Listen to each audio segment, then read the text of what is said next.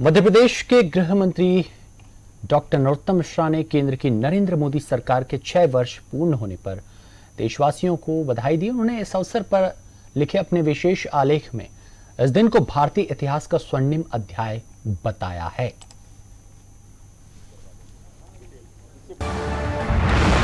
मोदी सरकार ने 130 करोड़ भारतीयों को का आत्मगौरव बढ़ाया है। ये बातें उन्होंने लिखी डॉक्टर नरोत्तम मिश्रा जी। करोड़ों भारतीयों के सपने और आकांक्षाएँ पूर्ण हुई हैं।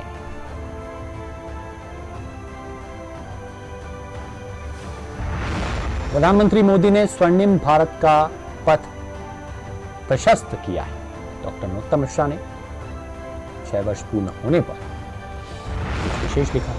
करोड़ों बेघर भारतीयों को उनका आशियाना मिला है।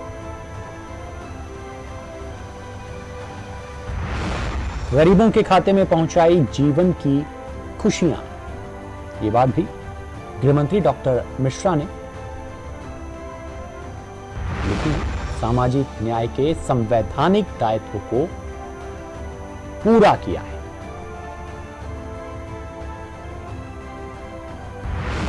देश की सेना के मनोबल को आसमान तक पहुँचाया है।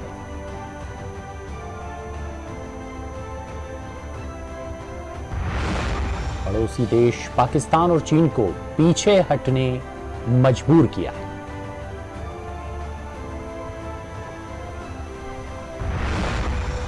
मेक इन इंडिया की पहल से देश की अर्थव्यवस्था मज़बूत हुई।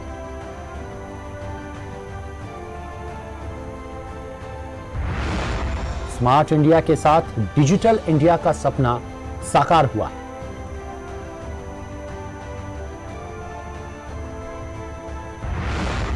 अनुच्छेद 370 हटाकर भारत माता का मस्तक गौरवान्वित किया है।